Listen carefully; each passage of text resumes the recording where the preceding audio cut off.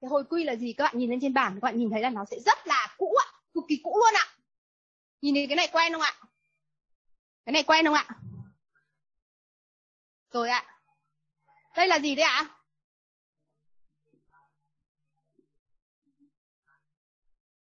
A cộng b có được không? Hay cứ phải a cộng b? Được chưa? Rồi ok a là gì, b là gì? Tôi giải lại, tôi giảng đúng hồi quy nhá. Đây đúng chính là hồi quy này. A là gì, b là gì? A là gì? B càng lớn thì đường thẳng này làm sao? Thấy chưa? Ờ đúng rồi. B càng lớn đường thẳng này càng dốc. Đúng chưa? Có nghĩa là gì? Có một đường thẳng này. Đúng không ạ? Thì b nó chính là gì ạ? B là phần góc này đúng không ạ? Hệ số góc đúng không ạ? Đúng không ạ. B càng lớn đường thẳng càng dốc đúng không ạ? Hồi quy chính là gì? Hồi quy đơn giản của nó. Trước khi nó biến đổi phương trình là beta 0 cộng beta 1 cộng beta 2 nó chính là cái phương trình a à, y bằng a cộng bx ạ. A nó chính là hằng số ạ. Hằng số đây là điểm cắt qua trục tung đúng không ạ? Đây là y đúng không ạ? Đây là x ạ. Thì trong trong toán thống kê nó có một cái điểm quy định ạ là luôn luôn là biến phụ thuộc ạ là y ạ được không ạ? Biến phụ thuộc là y ạ, biến độc lập là x ạ. Tại sao người ta gọi y là biến phụ thuộc mà x là biến độc lập ạ? Bởi vì là y thay đổi theo x, đúng không ạ? Có hiểu không ạ? Trong cái phương trình này x biến đổi thì y làm sao ạ? Thay đổi, đúng không ạ? X là đối tượng quyết định của y, đúng không ạ? Thì trong ngành y của mình ạ, ví dụ như bây giờ mình chẩn đoán tình trạng có bệnh hay không có bệnh, đúng không ạ? Ví dụ bây giờ là gì ạ? Nguy cơ mắc bệnh tim mạch chẳng hạn, đúng không ạ? Và tuổi, đúng không ạ? Thế thì cái gì là x, cái gì là y ở đây? Nguy cơ mắc bệnh tim mạch và tuổi cái gì là x, cái gì là y ở đây? Đúng rồi, nguy cơ mắc bệnh tim mạch là y, còn tuổi là gì ạ? Là x, đúng không ạ? Một trong các câu hỏi đặt ra là tính toán nguy cơ bệnh tim mạch theo tuổi đúng không ạ? Khi tuổi tăng lên, đúng không ạ? Thì nó ảnh hưởng như nào, đúng không ạ? Các câu hỏi phụ thêm có thể là cái mối quan hệ là trong từng giới nó sẽ là như nào, đúng không ạ? Tóm gọn lại là đây là y bằng a cộng b nhân x rồi ạ b là góc quay. Thế thì mọi người để ý là gì ạ? Cái độ dốc này càng lớn thì với mối giá trị x này ạ, thì y sẽ làm sao ạ? Là cùng một điểm x này nhá. Nhá. Cùng một điểm x nhá. Cùng một giá trị x nếu góc quay nó tăng lên, lớn lên, đúng không ạ? Thì tôi muốn hỏi mọi người là với x tăng thì y nào sẽ tăng cao hơn? B càng lớn thì với một x tăng thì gì ạ b càng lớn thì x tăng thì b càng lớn thì sao? Y càng tăng lên đúng không ạ? Như vậy nếu xét về độ mạnh của mối quan hệ ạ, độ mạnh của mối quan hệ cái giá trị b này ạ. Thì nếu mối quan hệ càng mạnh thì b nó phải càng làm sao ạ? Càng lớn đúng không ạ? Đấy ạ. Thì bản chất của mô hình hồi quy nó là cái gì ạ? Nó chính là chúng ta đi xây dựng được một cái mô hình bằng a bằng như thế này ạ. Thì mô hình hồi quy đa biến là gì ạ? Mô hình hồi quy đa biến. Từ từ đừng để ý cái link vội nhá, bởi vì với cả nó có rất nhiều cái link function, ví dụ với cả logistic regression, tức là hồi quy tuyến tính thì link function của nó là logic link function của nó bằng logic nhưng nó vẫn quy về một phương trình như thế này, là hàm logic của y sẽ bằng như thế này mình không cần quan tâm. Mình chỉ cần biết là xét ở đây thì a mình không cần quan tâm, a là hằng số rồi. Cái nhiệm vụ của mô hình hồi quy là nó tính xem là cái b này bằng bao nhiêu. Khi biết được b rồi ạ thì mình phỏng đoán b, y có dễ không ạ? Mình có giá trị x, mình biết b thì mình có tính ra được y không ạ? Đúng không ạ? Thì thì mô hình hồi quy là gì ạ? Mô hình hồi quy chính là xác định b. Khi xác định b đúng không ạ? Thế khi nào thì gọi nó là mô hình hồi quy đơn biến và khi nào thì gọi nó là mô hình hồi quy đa biến? Thì nếu như ở đây chúng ta, đây chúng ta chỉ có một x thôi. X1 nếu chúng ta lại cộng thêm b1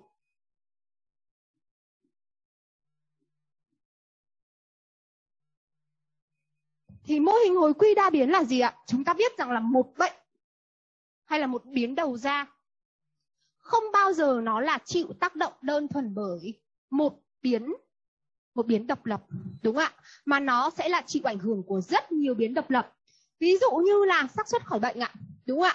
Có khỏi bệnh hay không khỏi bệnh ạ? Có tử vong hay không tử vong ạ? Nó không chỉ phụ thuộc vào tuổi, nó phụ thuộc cả vào tiền sử bệnh, nó phụ thuộc được vào vào gì ạ? Lộ trình điều trị, nó phụ thuộc cả vào tác dụng của rất nhiều thuốc khác nhau trong quá trình điều trị của mình nữa. Như vậy, ở đây nó sẽ có gì ạ? Rất rất nhiều các x đi kèm theo theo mô hình đúng không ạ? Cái này có dễ hiểu chưa ạ? Nó toán thôi mà có gì đâu toán một à, quá đáng toán cấp 2 được không ạ? Rồi ạ thế thì bây giờ mấy cái điểm như này ạ. Thì lại nói đến mô hình ạ. Mô hình hồi quy thì cái này thì máy tính làm hết cho chúng ta. Nếu như chúng ta đơn thuần là chúng ta đã có một bộ số liệu trong đó có y y được cốt sẵn x1 x2 x3 nó có thông tin thì chúng ta chỉ cần cho vào stata và chúng ta chạy cái do file của tôi cho.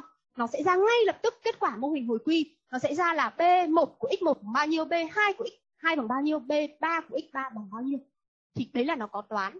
Và nếu các em, kể cả các em không cần biết chạy stata, nếu các em là bác sĩ, các em có số liệu số liệu là cái quan trọng nhất. Các em đưa cho một bạn đến y tế công cộng, bạn chạy, thì lúc nào luận văn của các em nó cũng sẽ có bảng số liệu đầy đủ, đúng không ạ?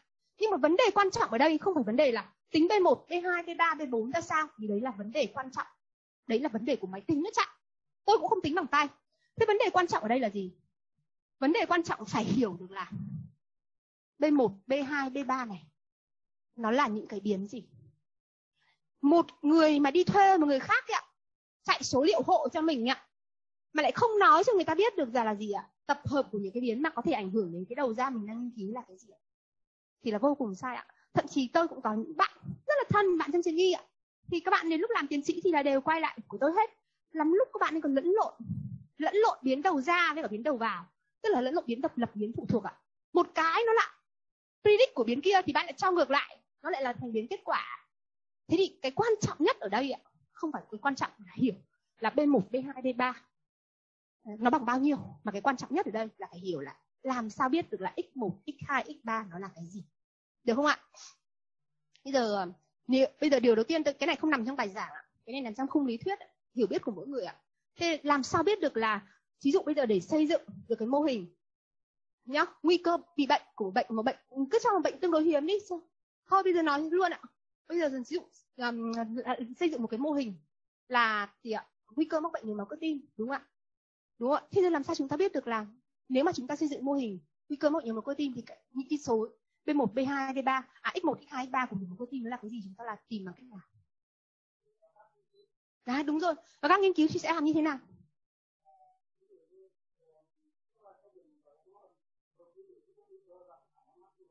Ừ. Ừ. Rồi. Ừ.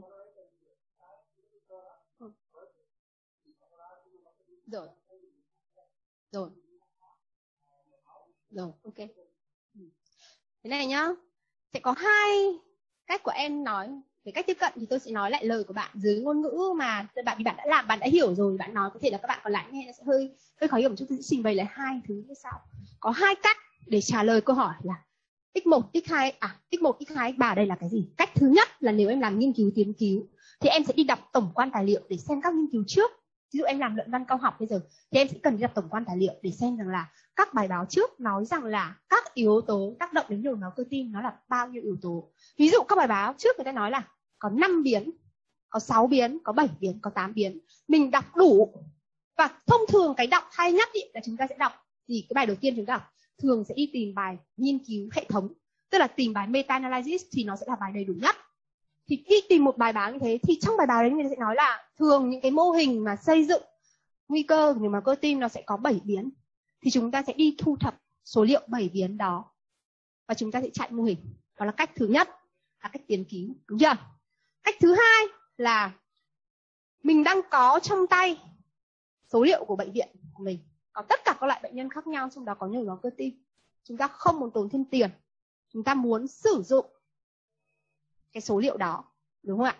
Để vào cái nghiên cứu của chúng ta. Chúng ta không đi thu thập cách thứ hai là chúng ta đã có trong tay một mớ các số liệu rồi. Thì cái mô hình, cái số liệu mà chúng ta có trong tay ạ, thì có thể nó không nhất thiết phải có đầy đủ tất cả các biến mà trong phần tổng quan tài liệu. Người ta nhắc, đúng không ạ? Vì đây là nghiên cứu thứ cấp. Nhưng nó lại có rất nhiều biến khác mà trong tổng quan tài liệu nó không nói. Và tôi nói luôn ạ, trên đời này ạ, public cái gì dễ nhất ạ? Public chỉ cái dễ nhất là thường thường là những cái kết quả mới.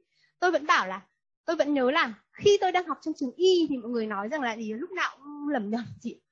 Cơ chế của đau dạ dày ạ à. lết dạ dày là gì ạ? Thần kinh cái thể dịch đúng không ạ? Hồi đấy lúc mới, trường hợp mới đầu tiên khi mà thông thông báo là tìm đến sức khuẩn đúng không ạ? Trong ổ lét mới chỉ là giả thuyết thôi, chỉ là nghiên cứu trường hợp thôi. Là nhìn thấy là trong tất cả trường hợp bệnh nhân có lét là có tìm thấy sức khuẩn HT còn mọi người, và nuôi cấy là có. Thì còn hoàn toàn chưa có chưa có công bố thành, còn bây giờ cho đến bây giờ thì là gì ạ? Sau 20 năm thì cái điều trị kháng sinh ạ, trong lết dạ dày tá tràng trở thành gì ạ? Điều trị gì ạ? Phổ biến rồi đúng không ạ? Bởi vì là có vi khuẩn đúng không ạ?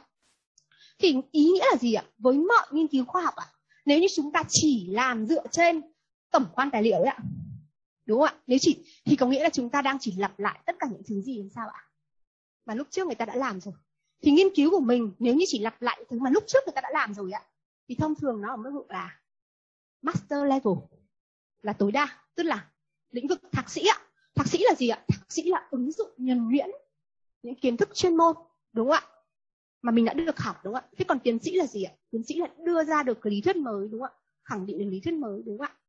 Thế thì nếu như mà tất cả các thứ, cái xác định này b1 x1 x2 x3 này này, chỉ dựa duy nhất vào một điều tổng quan tài liệu thôi ạ, thì chúng ta sẽ nhìn thấy rằng nếu chỉ dựa đơn thuần vào tổng quan tài liệu thôi ạ, thì muôn muôn đời bài báo thứ nhất nói là có 5x1 x2 à bài báo thứ nhất nói là có 5x thì bài báo thứ hai nó cũng sẽ có nói là gì ạ?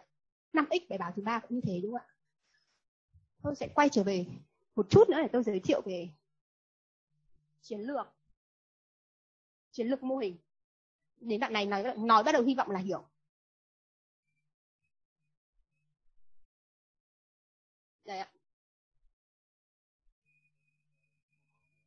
Dạ. thì nói về chiến lược xây dựng ạ. Chiến lược xây dựng là chiến lược này này.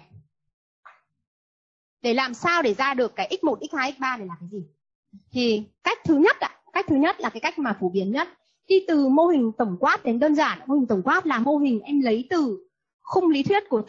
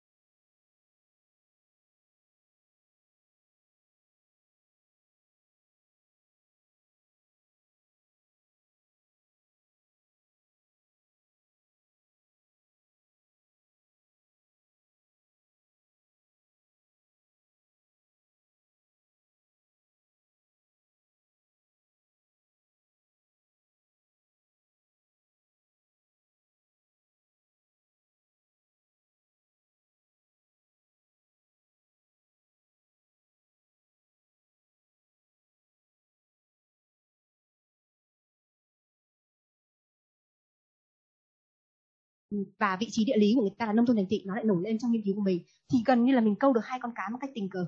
Là cách thứ hai. Không quan tâm, không quan tâm lý thuyết, chỉ cần chạy tập thống kê. Tất cả những cái này đều là máy làm cho các bạn hết, không có gì phải lo. Cách thứ ba. Cách thứ ba là tiếp cận dựa vào mục đích ạ. Có nghĩa là gì ạ? Trên lý thuyết người ta có thể nói,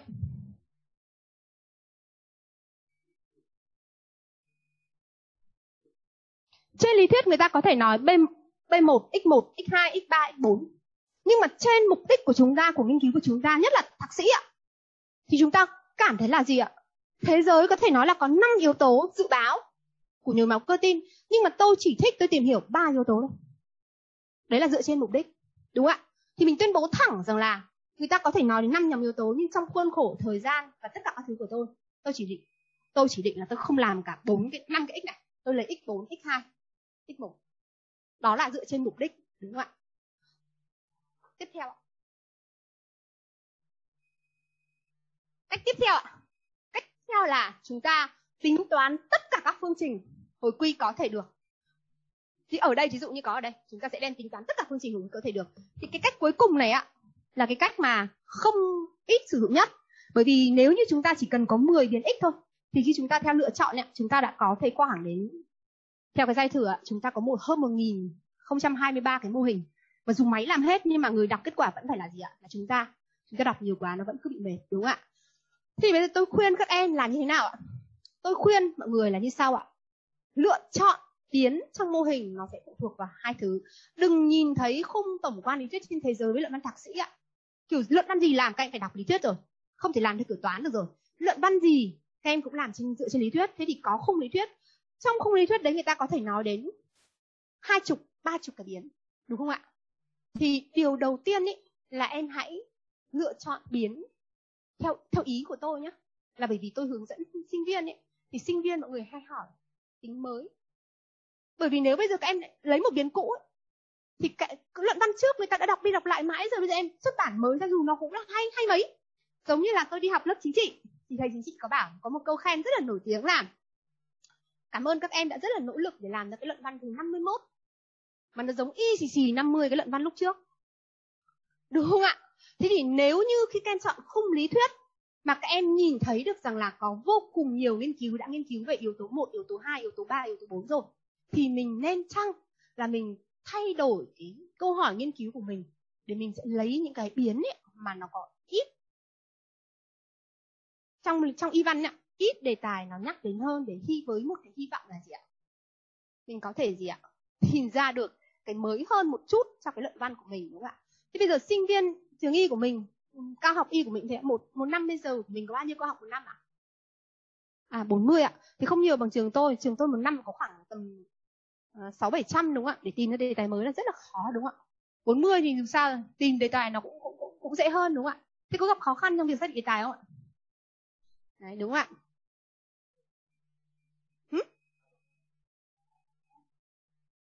Tôi đang hỏi cao học chung ấy. Một năm ra trường. Cũng thế cũng nhiều đúng không ạ? Thế để tìm đề tài nó cũng, cũng không phải là dễ đúng không ạ? Kiểu gì sẽ lặp lại đúng không ạ? Đúng không ạ? Đúng không ạ? Kiểu gì lặp lại đúng không ạ? Thế thì mình cố gắng là làm sao ấy ạ? Trong cái câu hỏi cũ đấy ạ mình cố gắng tỉa tóp ra được một hai cái giả thuyết mới đúng không ạ? Giả thuyết mới của nó chỉ bằng cách là gì ạ? Bình mới và rượu cũ phẩy thêm cái hoa mới ạ. Thì bằng chỉ bằng cách là gì ạ? Chúng ta để đọc chúng ta xem là gì ạ? Ok, những cái nghiên cứu trước tập trung vào năm nhóm yếu tố này. Thì cái nghiên cứu này của tôi tôi sẽ thêm một cái nhóm yếu tố thứ sáu. Bao giờ an toàn là chúng ta cũng giữ năm cái yếu tố. Đấy, nhưng chúng ta thêm một yếu tố thứ sáu. Thì có thể yếu tố thứ sáu đấy nó là có thể work, tức là có thể hoạt động. Mà nó có thể cũng không ra, nhưng cũng vẫn không làm sao, bởi vì chúng ta vẫn còn gì ạ? Năm cái kia để viết. Nhưng mà ít ra là trong cái giả thuyết nghiên cứu của chúng ta chúng ta có một cái giả thuyết nghiên cứu gì ạ? Có một vấn đề mới chúng ta đặt ra. Thì cái đấy nó là là là việc cái thôi bây giờ này ạ. Lại trở lại cái phần này. Ờ, học bảng dễ hơn hay học slide dễ hơn cả lớp? Hả? Thì từ nãy giờ cái này có hiểu gì không? Hiểu chưa? Thôi từ từ một tí đã. Bình tĩnh lại hỏi lại một tí. Cái này vẫn phải lại giảng. Tôi đi tìm cái rẻ để lau. À, đây đây đây.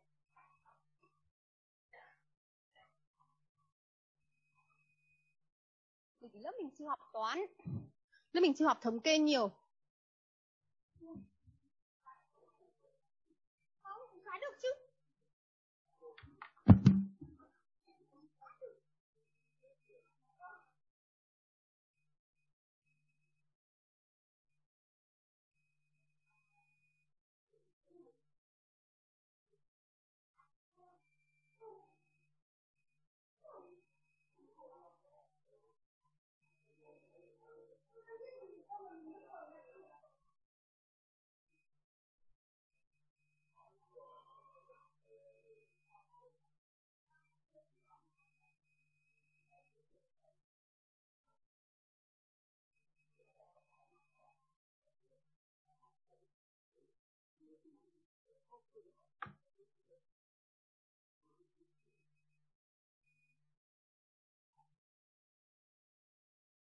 Rồi, trong lúc chờ đợi là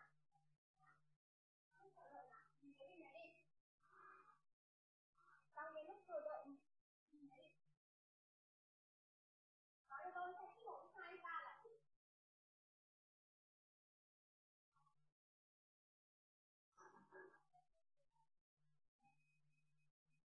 xong cái lúc chờ đợi mình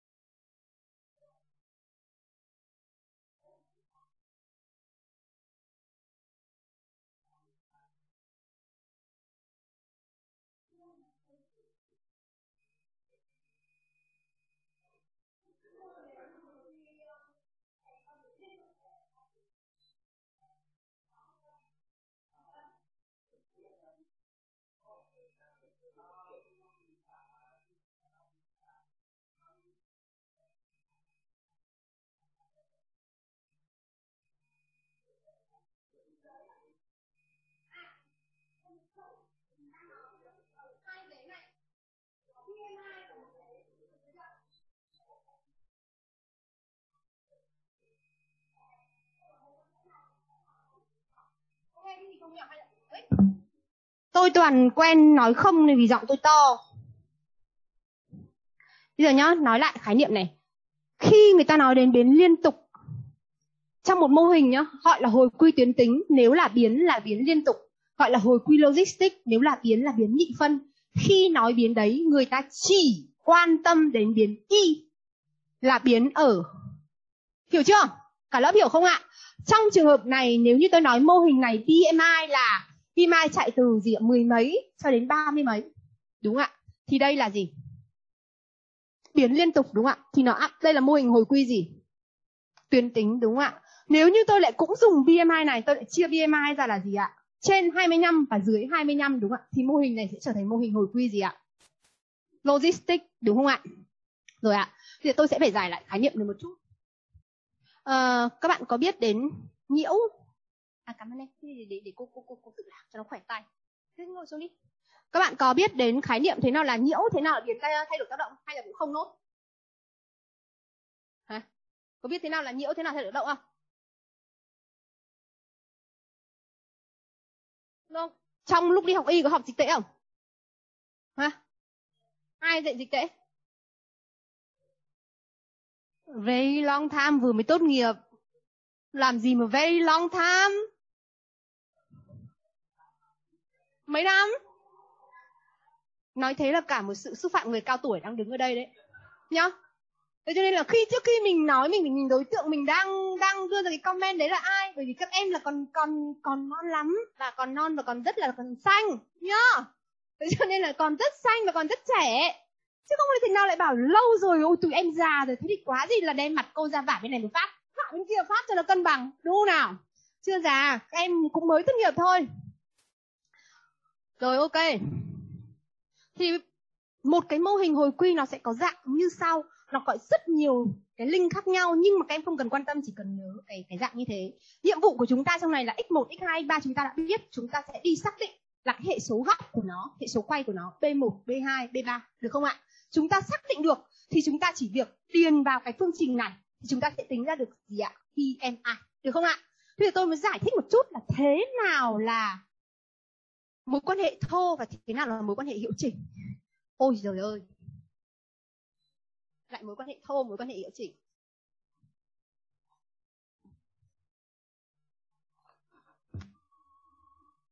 Hôm nay à, về vừa được khỏe tay, vừa được khỏe giọng bây giờ nhá, tôi không dùng a và b nữa. Tôi thành cái thuật ngữ người ta hay dùng trong kia. B không ạ chính bằng a trong cái đường hồi quy của em b không nó là giá trị constant là giá trị khẳng định, đúng không ạ? Là cái chỗ cắt qua cái cái cái đồ thị của em, được không ạ? Thì tôi sẽ dùng là y bằng b không? Beta không, được không ạ? Beta không cộng với beta 1 trong trường hợp này tôi lấy luôn ở đây, ví dụ ở đây y là một EMI. Chết rồi mình vứt cái kia đi đâu mất rồi? Luôn đi, EMI cho nó dễ.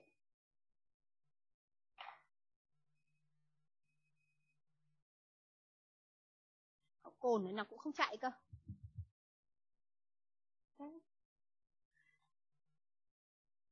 Không phải cứ sang trọng quá là không là là là dùng được đâu. Không sao. Nhìn được không? Ui, cái này rõ quá. Đây nhá BMI này. Nếu như trong trường hợp này, tôi sẽ giải thích cái khái niệm này, cái khái niệm này các em phải phân biệt được. Nếu không học một tí gì, ok, thì biến thứ nhất là tôi lấy là biến tuổi với cái phương trình này, nó chỉ có một giá trị duy nhất là BMI với tuổi. Mô hình này gọi là mô hình hồi quy đơn biến hay đa biến. Vì nó chỉ có một, đúng không ạ? Khi mô hình hồi quy đa biến thì giá trị beta một này này. Nó diễn tả mối quan hệ thô. Nhá, nó gọi là cruise association. Tiếng anh ấy, nó gọi là mối quan hệ thô. Cruise association giữa tuổi với cả biến đầu ra biến BMI đúng không ạ? Thì về bản chất ạ, trên phương trình nó chính là cái đồ thị này. Đúng không ạ? Nhưng khi thêm một biến vào, bây giờ tôi thêm biến thứ hai, cũng phương trình thứ hai. Trong trường hợp này tôi thêm một biến nữa vào.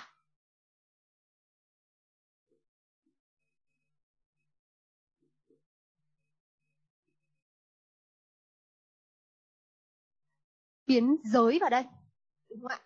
Thì mô hình này đang từ đơn biến trở thành mô hình hồi quy. Đa biến, có một biến tăng thêm một biến nữa.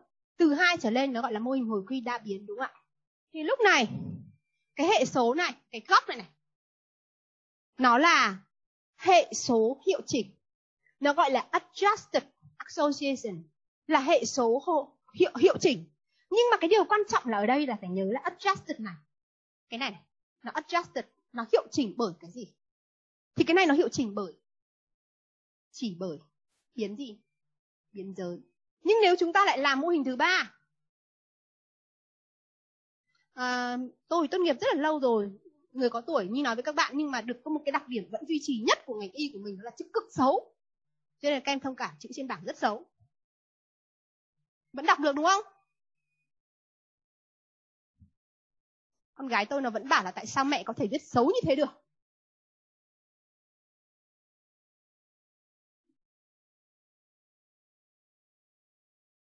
Đây. Thì các bạn nhìn thấy ba mô hình này. Thì có mô hình đầu tiên, cái này là cruise là mối quan hệ thô. Mô hình thứ hai, thường trong toán học người ta ký hiệu là b sao. Mô hình thứ ba cũng cứ có từ hai biến trở lên là hiệu chỉnh. Hiệu chỉnh ký hiệu của nó thường là sao? Trong các mô hình. Nhưng cái mô hình thứ nhất này, hiệu chỉnh của tuổi này, nó chỉ hiệu chỉnh bởi mấy biến?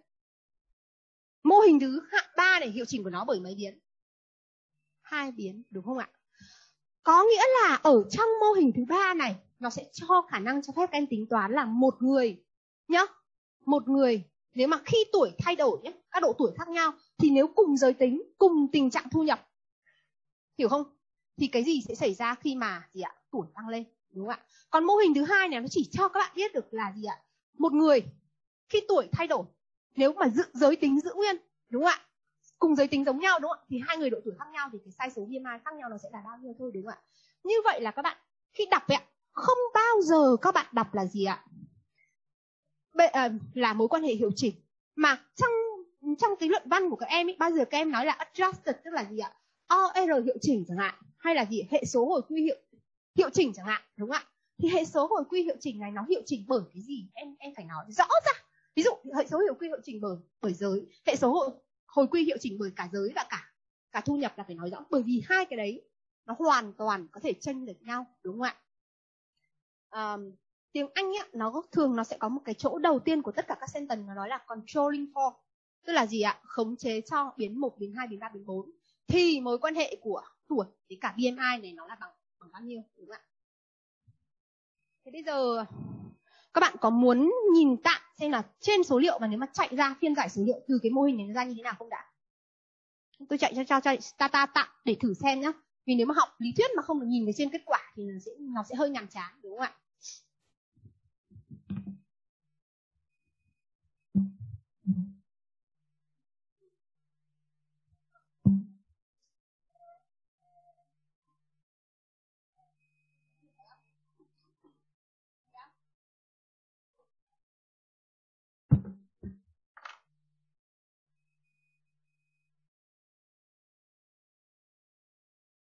Ờ, xin hỏi lại là cái slide trên bảng mọi người nhìn đã hiểu hết chưa? Hết chưa? Rồi thì nhiệm vụ của chúng ta là để tính toán cái gì ở đây? Khi chạy mô hình tính toán cái gì đây? Tính toán x1, x2, x3 hay là tính toán cái gì? Rồi ạ, à, tính toán đúng không ạ?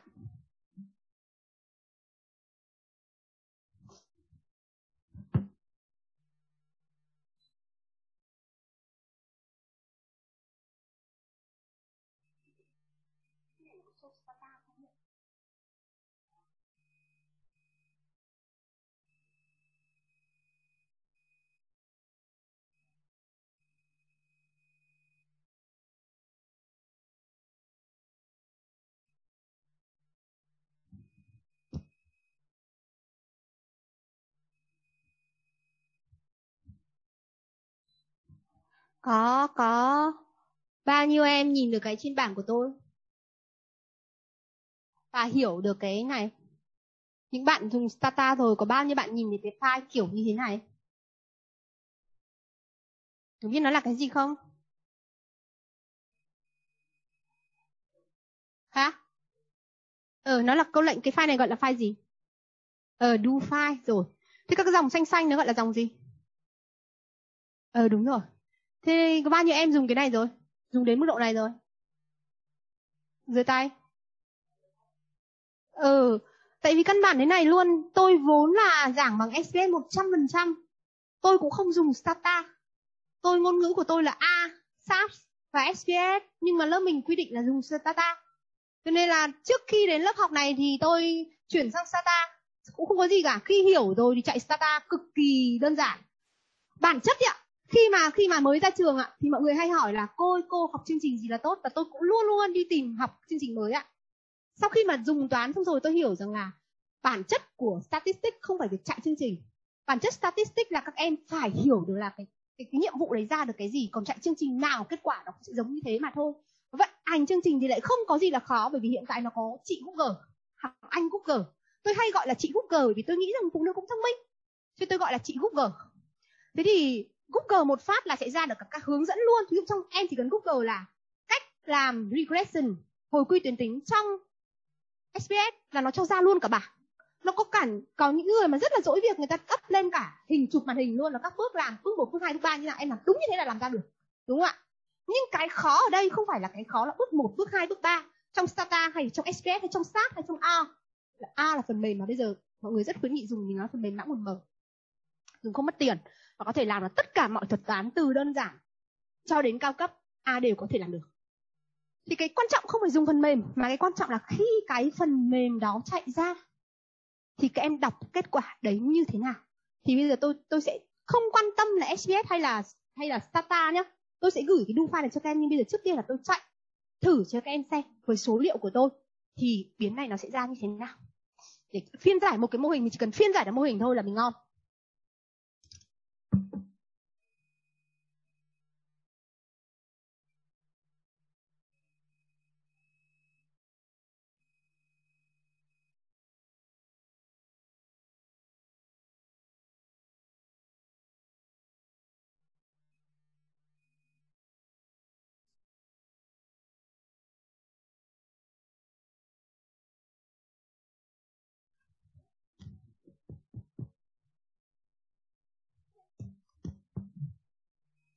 Có nhìn được cái trên bảng không? Nhìn được tí nào chữ không? Có nhìn được chữ không? Vì tôi cũng không nhìn được, hôm nay tôi quên đem kính tới cận. Để hỏi ở đây, có bao nhiêu người cận mà làm duyên không đem kính giống tôi? Nhìn được đúng không? Tôi chỉ cần như thế này nhá. Mục đích của tôi chỉ cần như này. Tôi chỉ cần các em nhìn được cái biến là cái này. SPSS hay Stata, hay SAT, hay là A, hay bất kỳ một phần Epinfor khi chạy mô hình hồi quy tuyến tính nó đều kịch kim cho ra cái bảng như thế này. Được không nào? Tôi chỉ cần các em nhìn cái bảng này viết được cho tôi phương trình dự báo BMI và phiên giải để cho tôi mối quan hệ của các cái biến này. Thì tôi xin giới thiệu như sau.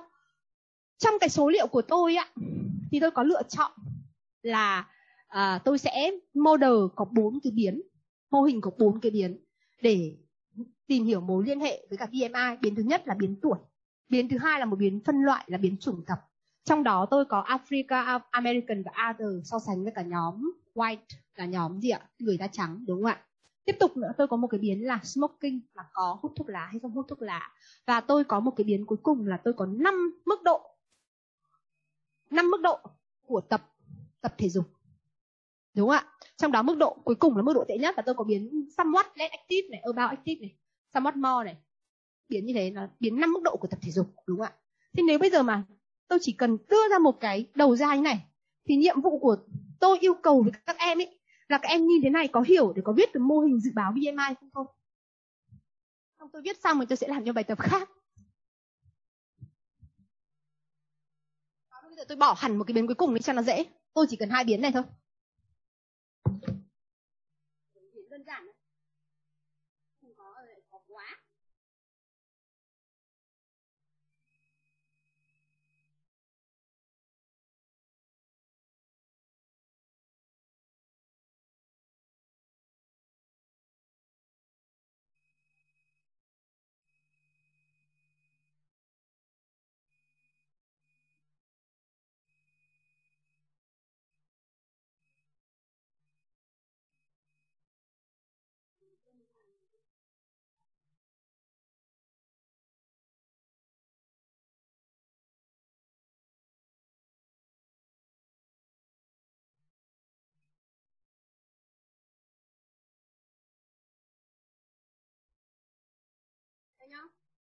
Chỉ có 3 biến thôi. Thế thì lúc nãy tôi còn nói với các em là mô hình hồi quy tuyến tính là mô hình nhằm viết ra để dự báo kết quả của biến đầu ra. Bây giờ dựa vào cái bảng này, các em viết cho tôi phương trình dự báo BMI từ cái bảng này. Các em viết xong được các em hiểu thế nào là hồi quy tuyến tính một cách sơ sơ.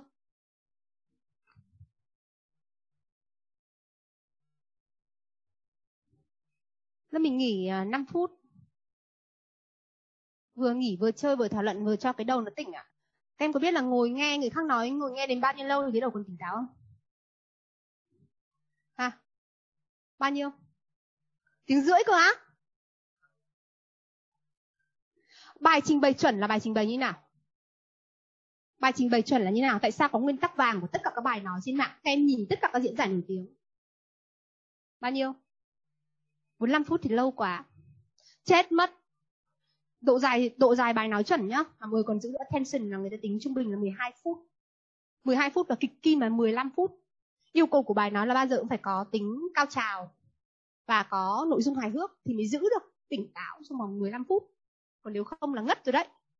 Nên từ nãy giờ tôi nói một tiếng đồng hồ là khả năng là lúc này đầu óc các em các em rất lịch sự kiểu như các em đang nghĩ là đang nghe cô nói à đang nghe người cao tuổi nói nhưng thực tế là có lẽ là nó đã lãng cho nên bây giờ các em cần phải đứng dậy, vận động tay chân và trong lúc đấy suy nghĩ về cái bài tập của cô giao. Nhá. Đứng dậy. Không đứng dậy à? Đứng dậy đi. Đứng dậy. Con không biết là ngồi nhiều thì BMI có thể không tăng nhưng vòng bụng tăng không? Vòng bụng cũng là một trong các yếu tố ấy đấy. Sao? Từ từ, bình bình tĩnh đã, bình tĩnh đã bình tĩnh đã. Hôm trước không học một tí gì như thế này luôn à? Thống kê cơ bản học cái gì? Thôi nhá nói luôn này. Tôi chỉ cần quan tâm không cần quan tâm đến những cái thứ đằng sau. Cần quan tâm đến b giá trị beta ấy, beta 1, beta 2 ấy, chỉ có một cột duy nhất đó là cột coefficient những thứ khác chưa giảng bộ. Được chưa? Beta 1 beta 0, beta 1, beta 2, beta 3 nó nằm hết ở trong cột đầu tiên là cột coefficient. Được chưa? Bây giờ viết phương trình, sau đó cô sẽ giải thích những thứ còn sau. Nhưng trước khi viết phương trình đứng lên vận não. Chuẩn bị đến vào một đoạn là chúng ta phải nhớ và nhớ thì chúng ta phải hoạt động. Thì nghỉ một tí đã, xong rồi là chúng ta mới nhớ được. Xong sau này xong khi chúng ta viết được cái phương trình này chúng ta phiên giải được những cái thứ này ấy, nó dễ lắm, không có gì, không có gì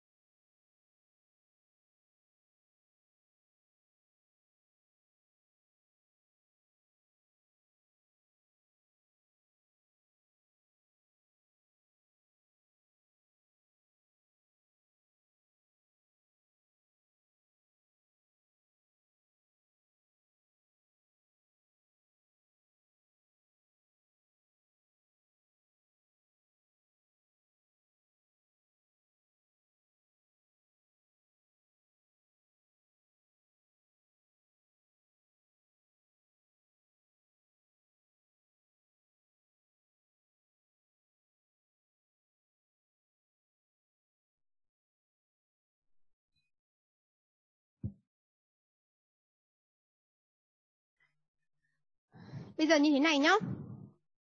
Các em em, các em sẽ phải hiểu như thế này này. Mỗi cái chương trình khác nhau, mỗi chương trình khác nhau thì nó sẽ có một cái đầu ra, một cái bảng đầu ra này khác nhau. Tôi sẽ giải thích một chút này. Thì cái gì các em sẽ cần phải chú trọng? Thì có mấy cột các em cần phải chú trọng như sau. Thứ nhất là các em nhìn thấy bất kỳ cái chữ gì viết chữ std chấm e đấy, nó là viết tắt của chữ standard error. Được không ạ? Cái cột đầu tiên là cột Ờ, uh, COEF là viết tắt của chữ coefficient. Nếu mà trong SPS ạ các em chạy SPS nó ra cái gì ạ? Nó sẽ viết tắt là nó sẽ viết là chữ gì? Nó sẽ viết là chữ beta ấy nếu tôi nhớ không nhầm nó viết hẳn là B luôn đấy ạ. Đúng ạ? Thì ở đây nó là coefficient đúng không ạ? Standard error ạ thứ hai là giá trị t. Trong cái này cái cột mà duy nhất ý, mà nhìn đầu tiên ý, là sẽ nhìn cột coefficient và nhìn cột p. Ở đâu cũng sẽ nhìn cột đầu tiên và sẽ nhìn cột giá trị p được chưa? Coefficient này, nó chính là cái giá trị b. Và lúc nãy tôi bảo các em tính b1 b2 b3 đúng không ạ? Thế thì bây giờ với cả cái coefficient tính ra như thế này, đúng không ạ? Constant ạ, giá trị constant này ạ. Constant này chính là hằng số hay là chính là b0 của mô hình, đúng không ạ? Thì dựa trên kết quả này, nếu bây giờ tôi bảo các em các em viết mô hình dự báo, mô hình dự báo BMI dựa trên kết quả này thì mô hình dự báo được viết theo phương trình như thế nào? Các em đã viết được hay chưa? Rồi. Đúng rồi. Đúng rồi.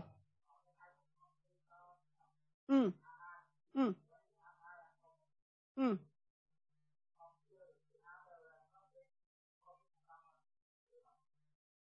Vì sao lại không đưa vào trong hồi kỳ rồi, ok.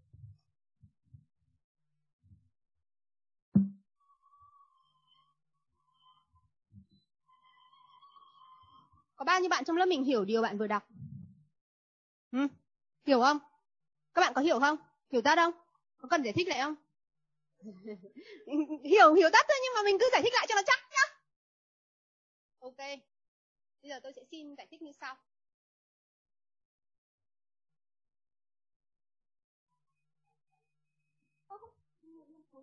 Không phải chạy đi này đòi hỏi.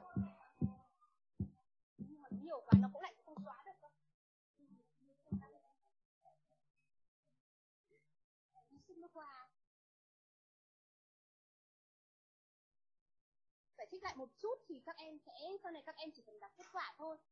Nó sẽ dễ hơn một chút. Có, có bao nhiêu bạn cách biết là cái khoảng tin cậy nó tính ra như thế nào? Các em có bao nhiêu bạn biết là cái khoảng tin cậy? 95% này con interval này được tính ra như nào? Chưa hỏi phiên giải nhá. Chưa hỏi phiên giải. Thứ nhất là có bao nhiêu em biết mối liên hệ giữa p và khoảng tin cậy?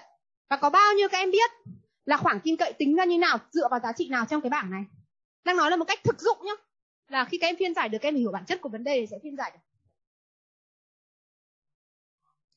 Ôi trời ơi nó nhem nhuốc ấy. À, thôi kệ.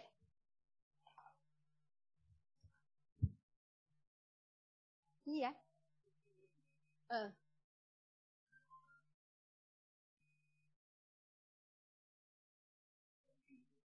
Ừ. Như cái bảng này, cái mặt bảng này nó không tốt lắm cho nên nó bị bám kinh quá. Hoặc là do mình cái cũ mình không lau được ấy. Ừ. Mình phải cũng tìm có cái giấy nó to, không chứ lau chữ hơi bị lâu.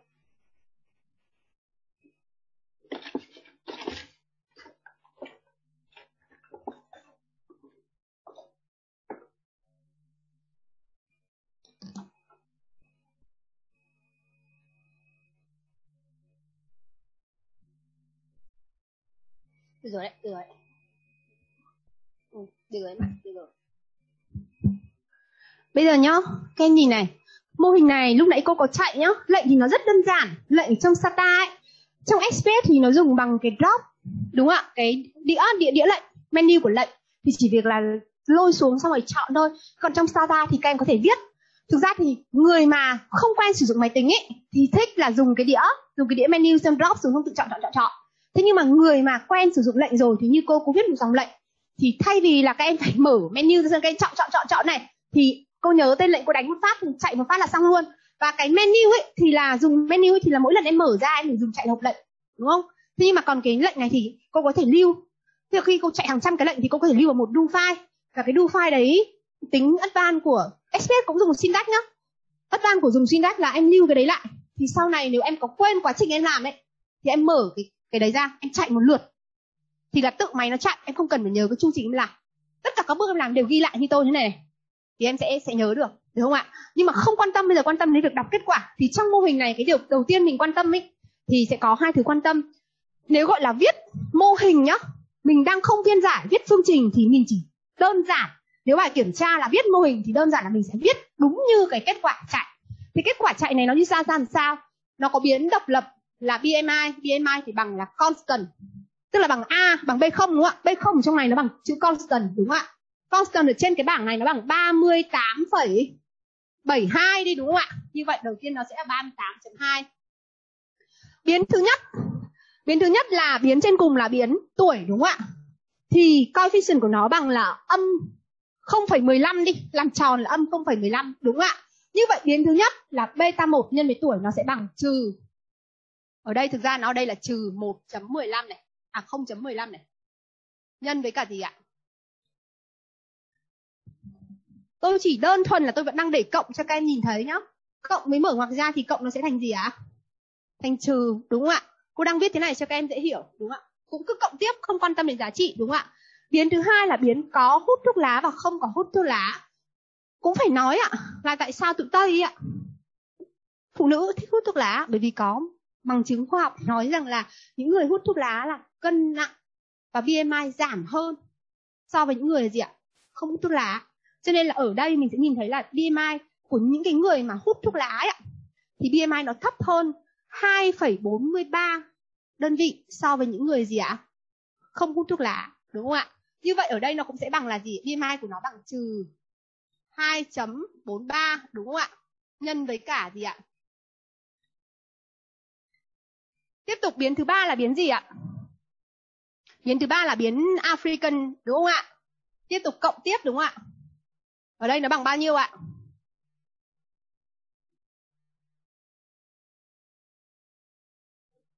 Đúng không ạ? Tiếp đến lúc nãy bạn có nói là vì biến này không có ý nghĩa thống kê, đúng không ạ? Cho nên mình không biết ạ. Thì lưu ý như sau ạ. Có hai lưu ý. Thứ nhất là khi viết mô hình dự báo ạ, thì mình phải lưu ý. Biến chủng tộc ấy ạ thì nó có hai, nó có ba phân loại tất cả. Có biến da trắng này, có biến da đen này và có biến a giờ đúng không ạ? Khi một biến trong nhóm đã vào trong mô hình rồi thì biến thứ hai cũng phải cho vào trong mô hình. Trong trường hợp này anh vẫn phải có gì ạ? Cộng với cả gì ạ? 0.04 nhân với cả gì ạ? A giờ. thì nếu như mà kết quả, đây là bảng kết quả thì mô hình dự báo BMI theo ba biến này. Mô hình dự báo BMI theo ba biến này. Nó sẽ lấy gấp cái hệ số hồi quy ở trên ra. Nó viết thành như thế này? Đúng không ạ? Khi một người mới vào, nếu em biết tuổi của người ta, em biết chủng tộc của người ta, đúng ạ? Và em biết gì ạ? Tình trạng hút thuốc của người ta, đúng ạ? Bản chất gì ạ? Em lắp vào mô hình này. Nó sẽ ra BMI nếu mô hình tốt, nó sẽ ra BMI gần sát với cả cái gì ạ? PMI đang có của người ta, đúng không ạ? Đấy gọi là mô hình dự báo, đúng không ạ? Thế những cái thứ đáng quan tâm trong mô hình này ra làm sao? Có mấy cái điểm mà giới thiệu với các em. Này như là, này nó hơi là bị, chúng ta đang học lễ học từ gốc leo lên, thì chúng ta đang ở trên ngọn, chúng ta trèo dần hạ cánh xuống, nhá. Thế thì bây giờ mới hỏi các bảng này, các em có biết standard error nó là cái gì không? Standard error nó là cái gì? STDE cái nó là cái gì? Không để cô làm để cô làm. STD nó là gì? Standard error nó là cái gì? Liên quan thế nào đến khoản tin cậy? Bây giờ nếu các em lấy nếu các em lấy nhá thử một cái con số này lấy co e, coefficient cộng với cộng trừ 1,98 nhân với standard error xem nó ra cái gì. Thử đi.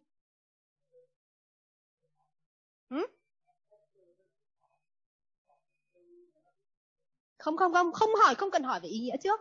Đừng đừng đừng, bây giờ, tức là này, nếu các em muốn học mà muốn hiểu một cách dễ nhớ nhất trong bảng ấy, thì đừng có lôi khái niệm vội. Với các em thì hiểu rồi, em học toán. Các bạn chưa hiểu, tôi chỉ cần nói, em thử lấy coefficient. Coefficient nhá coefficient các em cộng trừ lại. Lấy coefficient này. Cộng trừ 1.98 nhân với cả standard error xem nó ra cái gì.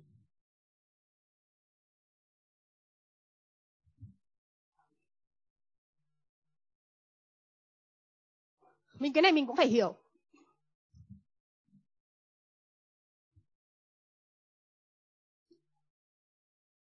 Thì nó ra cái gì? Lấy cứ lấy cái coefficient nhá cột coefficient cộng trừ lại. Nghĩa là nếu như chúng ta chỉ cần có những bảng nhá tại sao có những cái tác giả người ta chỉ trình bày người ta không trình bày giá trị p người ta chỉ trình bày mỗi coefficient và khoảng tin cậy. Có những tác giả người ta không trình bày khoảng tin cậy người ta chỉ trình bày STD, S, SE và coefficient có những tác giả người ta cũng không trình bày coefficient không trình bày khoảng tin cậy người ta chỉ trình bày bởi mỗi coefficient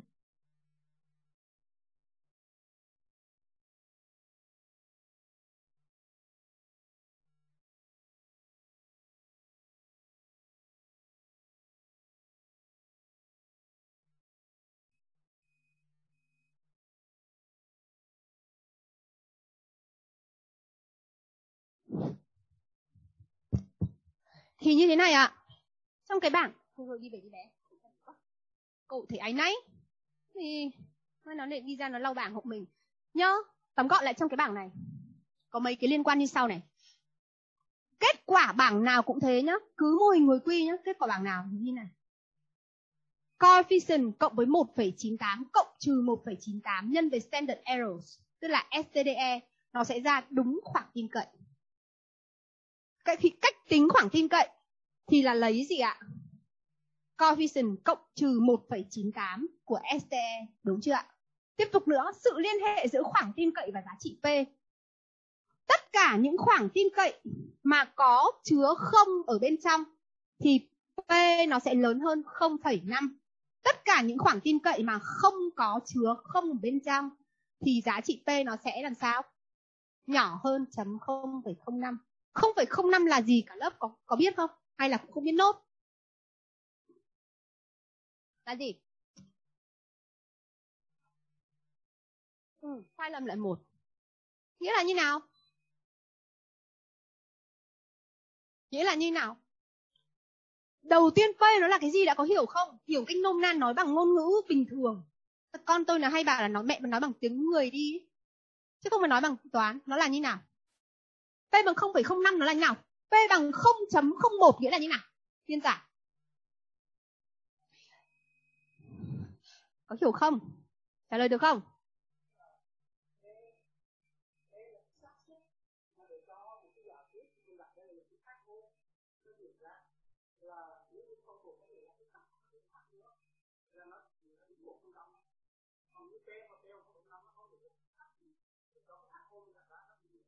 HO nó là cái gì? Không biết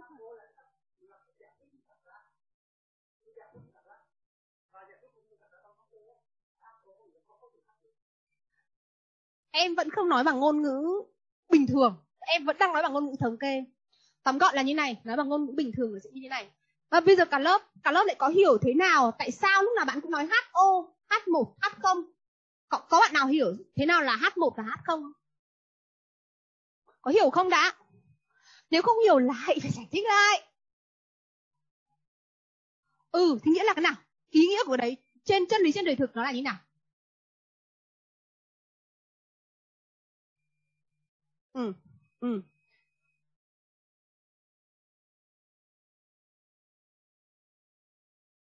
Rồi ok, rồi. Trong y à trong không phải y mà trong mọi cái statistics trong mọi phân tích thống kê bao giờ người ta cũng giả nói là gì ạ? Có giả thuyết H0 và đối thuyết H1. Giả thuyết H0 ấy ạ thì có nghĩa là giả thuyết là một gần là giả thuyết là không tồn tại mối quan hệ giữa y và x. Tức là gì ạ? x không phỏng đoán y, x không liên hệ với y đúng không ạ? H1 là gì? H1 ngược lại của H0 đúng không ạ? Là giữa y và x làm sao có tồn tại mối quan hệ đúng không ạ? Trong nghiên cứu ạ thì nó bao giờ nó cũng có gì ạ? Nó có explanation and alternative explanation nghĩa là gì ạ? Bao giờ khi chúng ta đi làm nghiên cứu thì chúng ta cũng phải có một giả thuyết và một cái giả thuyết tương ứng khác. Sẽ không bao giờ mà nó chỉ có một giả, một cái câu trả lời duy nhất cho một câu hỏi mà chúng ta lại đi làm nghiên cứu. Bởi vì nếu như chỉ có một câu trả lời duy nhất cho một câu hỏi thì dĩ nhiên đấy là đáp án thôi. Đúng không ạ? Cần đi làm nghiên cứu nữa? Đúng không ạ? Tiếp tục nữa ạ. Tôi muốn nói về alternative explanation. Alternative explanation là gì? Thì các em chắc hẳn sẽ biết một câu chuyện hài như sau. Trang tỏ tình với nàng và nàng trả lời rằng em thấy rằng bất kỳ lúc nào mà em gặp nguy cấp thì anh cũng đều có mặt ở bên cạnh em. Lúc em bị tai nạn, anh cũng đang có mặt. Lúc em mất việc, anh cũng đang có mặt. Lúc nhà em cháy, anh cũng là người đầu tiên chạy đến. Và kết luận là gì? Chính xác ạ. Kết luận thứ nhất ạ là nếu như mà của một người bình thường ạ, explanation là anh rất là tử tế đúng không ạ? À, anh rất là chân tình đúng không? Anh luôn luôn có mặt khi em cần nữa. Và alternative explanation là anh rất đen. Cứ bất kỳ nào có sự có có mặt của anh thì anh sẽ gây ra tai họa cho em đúng không ạ? Đấy gọi là alternative explanation. Đúng không ạ? Và chúng ta cũng có thể hoàn toàn đi làm cái thí nghiệm là gì ạ? Để xem là alternative explanation là đúng hay là explanation là đúng đúng không ạ? Đấy là câu chuyện cười nhưng thực tế ạ, mọi nghiên cứu đều cần có giả thuyết. Một giả thuyết, một giả thuyết khác tương đương đúng không ạ? Còn trong toán học nó quy là giả thuyết H0 và đối thuyết H1.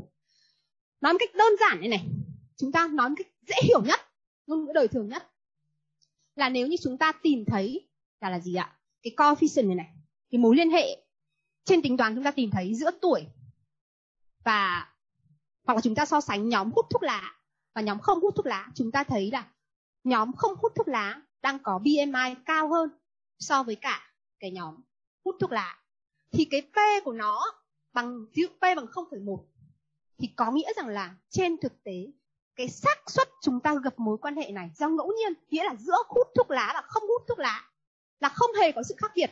Nhưng chẳng may á by chance tức là cái xác suất mà chúng ta có thể gặp được cái thế này nó là gì ạ? 10% đúng ạ? Thế thì người ta nói là cái gì ạ? Sai lầm loại một có thể chấp nhận được là gì ạ? Sai lầm loại một là chấp nhận được là mình nói là mình thường mình không ai quy định nhá người ta nói là gì ạ? Cái đấy nó là rule of thumb tức là chẳng có ai nói là phải là 0,05 chưa có bằng chứng khoa học nó nói là cứ là 0,05 mới là tốt đúng không ạ? Có những người vô cùng conservative tức là có những người vô cùng bảo thủ người ta đã có thể đòi hỏi p nhỏ hơn 0,01 cơ đúng không ạ? Và cũng có những người p nó ở khoảng 0,052 người ta vẫn report đúng không ạ? Thì cái 0,05 là một cái ngưỡng mà người ta đặt ra người ta nói là chúng ta ok chúng ta chấp nhận là cái xác suất đó xác suất xảy ra cái mối quan hệ by chance tức là nó là tình cờ nó là ngẫu nhiên ấy mà nó không phải thực sự có mối quan hệ đó. Thì cái sai lầm đó nó chỉ có 5% và người ta chấp nhận cái rủi rủi ro 5% đó. Đúng không ạ? Thì P bằng 0,05 có nghĩa rằng là mối quan hệ mà chúng ta tìm được nó trên thực tế nó không tồn tại mà nó do tình cờ. Chẳng may trong số liệu của chúng ta có một cái điểm gì đấy nó hơi khác biệt so với thông thường một chút. Và chúng ta tình cờ bắt gặp cái, cái mối quan hệ đó. Đúng không ạ? Thế thì à, cố gắng là như này. Nếu muốn nhớ kiến thức của thống kê và phương pháp nghiên cứu khoa học thì đừng nên là mình sẽ cứ dùng những cái tính năng, tính từ à những cái từ mà mang tính kỹ thuật của ngành mà mình cố gắng chuyển nó về ngôn ngữ đời thường để xem là ngôn ngữ đời thường của cái đấy nó nghĩa là cái gì, đúng không ạ? Thì chúng ta sẽ nhớ rất là lâu. Bằng không, khi chúng ta chuyển các chương trình khác nhau và chúng ta học lên các lớp khác nhau, các thầy cô sử dụng thuật ngữ hơi khác một chút ấy. dụ có những người nói là nghiên cứu bán thực nghiệm, có người nói là nghiên cứu phỏng thực nghiệm, có người nói là nghiên cứu giả thực nghiệm. Nó đều dịch từ chữ qua dai ra cả, đúng không ạ? Thì nếu mà không hiểu bản chất thì các em nghe, các em tưởng là có tận bốn năm loại thực tế khác nhau. Nhưng nếu mà hiểu bản chất rồi thì mình đều hiểu. Tiếng anh nó là qua dai experimental chẳng như thầy đinh giảng đúng không ạ? Thế thì bây giờ từ đây trong cái phần này thì mình sẽ nhìn thấy là tất cả những cái biến nào ấy mà có p ấy, bằng nhỏ hơn à có p nhỏ hơn 0,05 đúng không ạ? Thì là biến đấy có nghĩa là nó có hôm qua học là gì ạ? Thì mình sẽ làm sao với cả giả thuyết h không ạ? Bác bỏ đúng không ạ? Bác bỏ nghĩa là gì ạ? Bác bỏ thì nghĩa là mình sẽ nói là gì ạ? Có mối liên liên quan, đúng không ạ? Thì ở trong tất cả những thứ này thì cả ba biến mình xét thì có những cái biến nào thì sẽ là biến? Có biến nào là mối liên quan, có mối liên quan đến BMI ờ ừ, thì bây giờ đọc một cái đơn giản nhất là đọc tuổi đi. Diễn giải cái coi viết phương trình viết được rồi, đúng không? Viết phương trình viết được chưa? Cả lớp hiểu viết phương trình chưa? Rồi. Thì bây giờ diễn giải một cách rất đơn giản đi. Cái tuổi nhá, bằng coefficient của nó bằng trừ 0,15 đi thì nghĩa là gì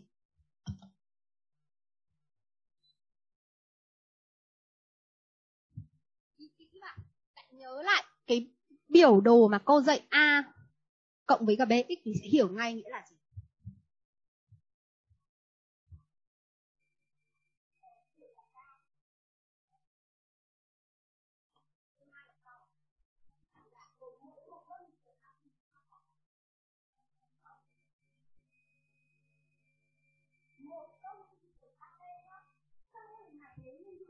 Nếu như giữ nguyên chủng tộc nhá, giữ nguyên chủng tộc, sao nó lại cứ, cái máy của cô chắc là nó cứ thỉnh thoảng nó lại ngủ. Mà nói thật mình cũng không biết chỉnh thế nào cho nó không ngủ lâu như thế này à, không ngủ nhanh như thế này. Rồi, nếu như giữ nguyên chủng tộc và tình trạng hút thuốc nhá, thì cứ một, tăng lên một tuổi BMI sẽ giảm đi bao nhiêu?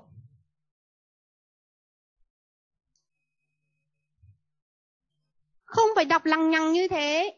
Mô hình này nếu như giữ nguyên một người nhá, cùng tình trạng hút thuốc lá, cùng chủng tộc thì tuổi tăng lên một tuổi thì BMI sẽ giảm đi 0,15 đơn vị. Có hiểu không? Có hiểu không? Thế một người hút thuốc lá thì sẽ có BMI như thế nào so với một người không hút thuốc lá?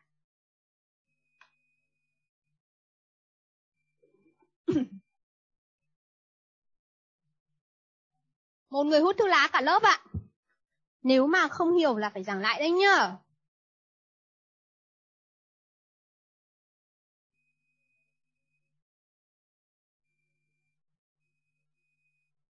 Bây giờ nhá, để biết là hút thuốc lá như nào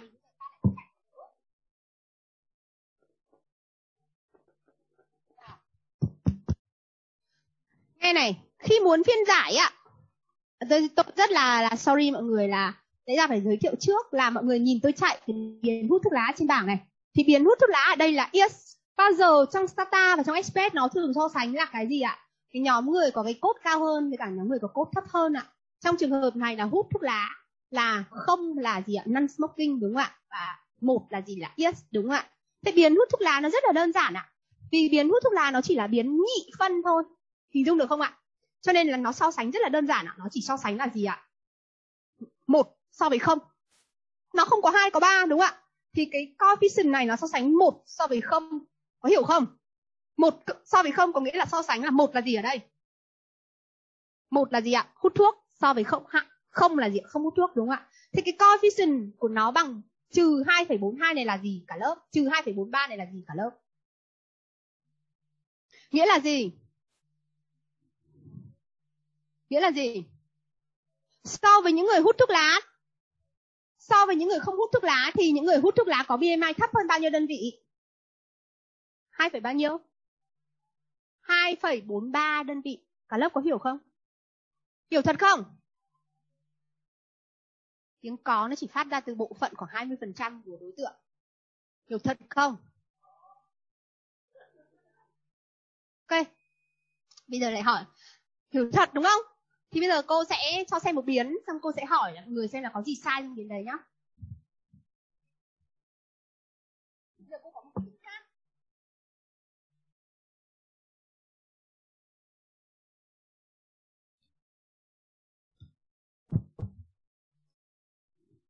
Biến này nhá. Đây đây là chính là phân tích số liệu phân tích số liệu là như thế này. Là mình chỉ cần hiểu bản chất của số liệu thôi thì cái gì mình chơi được hết. Ờ, tôi có một cái biến này nếu cả lớp trả lời được câu hỏi này là mình nhìn chung là với regression thì tôi chỉ cần đến thế này thôi. Nhìn nhá tôi có một cái biến này. Tôi đây có biến là biến năm mức độ tập thể dục. Biến năm mức độ tập thể dục thì nó sẽ chạy như thế này. Với cốt đầu tiên nhá là gì ạ? Much less, less active. Tiếp tục tăng dần tăng dần đúng không ạ? Thì biến này là biến gì? Biến phân loại biến thứ bậc hay là biến liên tục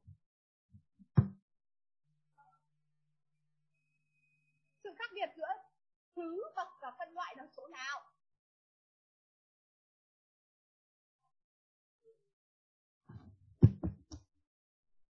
Ui trời ơi, lẫn lộn hết cả rồi. Lại lẫn lộn hết cả rồi. Nào rồi, bình tĩnh. Tất cả các cái đồng chí mà các em vừa nhắc ấy, phân loại, thứ bậc. Đúng không? Nó đều biến định tính. Thế nào biến định tính, thế nào biến định lượng? Có phải giảng lại lần nữa không? Thôi rồi, ok. Rồi bây giờ, biến này chỉ hỏi một câu thôi. Nó là biến gì? Nó là biến định lượng. Biến định tính. rồi, nó biến định tính, rồi thế nó là biến phân loại hay là biến thứ bậc trả lời đi vì sao nó là thứ bậc đúng rồi có nghĩa là gì ạ nó là biến thứ bậc bởi vì là gì ạ rõ ràng ở đây là gì ạ anh một là là gần như không tập gì cả chả hoạt động một tí gì, đúng không ạ anh hai thì cũng có lờ đờ nhưng mà gì ạ? Đỡ hơn anh một, đúng không ạ? Anh ba thì làm sao hoạt động hơn anh hai, đúng không ạ? Và cứ như thế, có nghĩa là nếu mà xét về mức độ tập thể dục thì anh thứ năm, anh nào là anh có mức độ tập thể dục cao nhất? Anh thứ năm là anh có mức độ tập thể dục cao nhất, đúng không ạ? Nó là biến thứ bậc, đúng không ạ? Thế nếu như mà sai lầm của chúng ta là gì ạ? Nếu như bây giờ chúng ta coi như anh này là một anh liên tục nhá, đúng không ạ? Thì cái con nó là một anh liên tục mỗi lần mình dùng cái bảng này ấy, thì nó cảm giác mình thích lại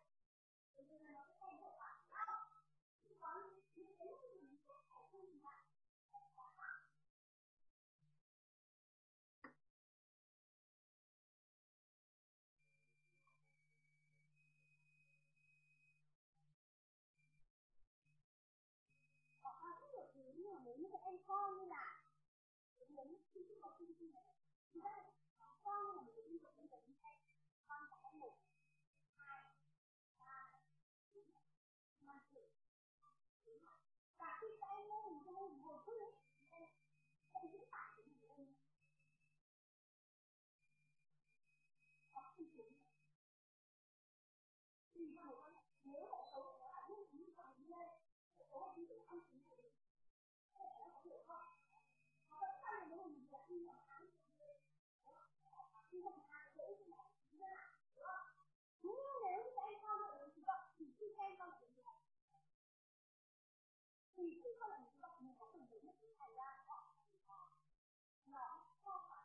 lúc này mình không có khoảng cách này để nhau nữa vì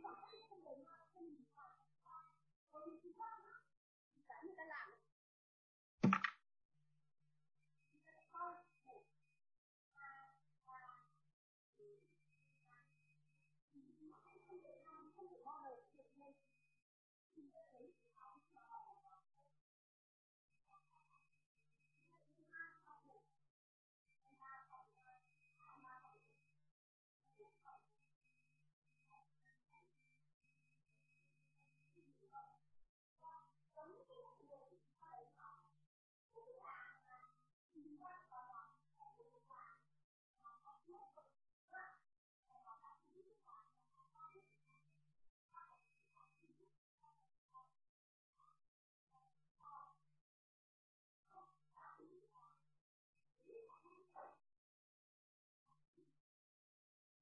thì dành cho những cái bạn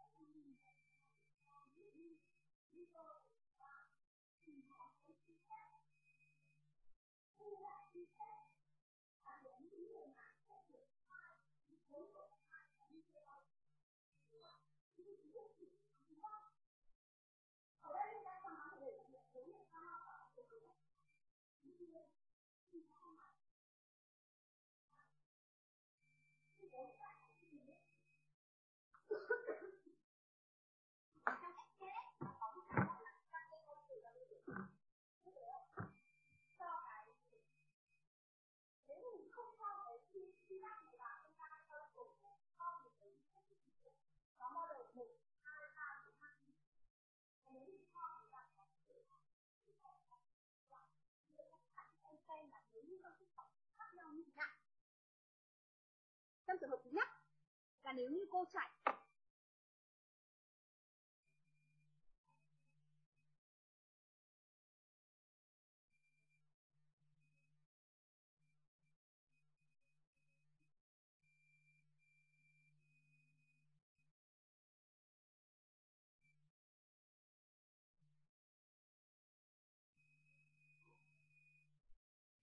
Đấy, trường hợp thứ nhất nếu như cô chạy BMI như là một biến BMI và physics physical activity này nó như là một biến liên tục ạ. Thì nếu em không nói với máy nó là một biến động, thì đường hoàng nó sẽ chạy như là một biến liên tục đúng không ạ? Và ở đây coefficient của physics nó bằng là gì ạ? Trừ 1,23 đúng không ạ? Thì nó sẽ giả định là gì ạ? Từ 1 mà chuyển lên 2 thì BMI giảm xuống bao nhiêu? À, bao nhiêu? Từ 1 nhá, người ta mức độ thể lực của người ta đang từ một người ta chuyển nó lên mức độ thể lực hai thì BMI nó giảm xuống gì ạ? 1,29 đúng không ạ? Từ hai người ta lại tăng lên được 3 thì BMI lại cũng giảm xuống bao nhiêu? Cũng là như thế đúng không ạ? Nhưng mà cái này có vẻ là không ổn bởi vì đây không phải là một biến liên tục đúng không ạ? Thì mình sẽ phải cho máy nói là thứ bậc, cái thứ bậc cái gì nó sẽ xảy ra? um, đến đây còn theo được không có buồn ngủ không nếu mà thỉnh thoảng cô có hơi lên giọng thất thanh ấy đấy là những cái lúc cô đánh thức đứa đang ngủ dậy đấy.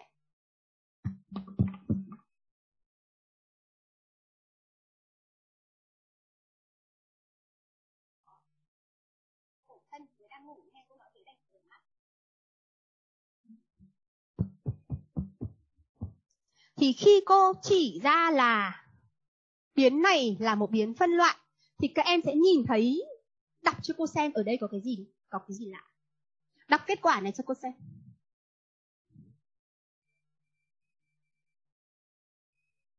Đây là nhóm so sánh của mình là nhóm gì? Nhóm so sánh của mình là mức 1 đúng không? Mức cuối cùng đúng không ạ? Mức không tập gì cả đúng không? Mình đang so sánh đúng không? Đến mức 2, mức 3, mức 4, mức 5 nên khỏi phải đọc tên tiếng Anh đúng không ạ?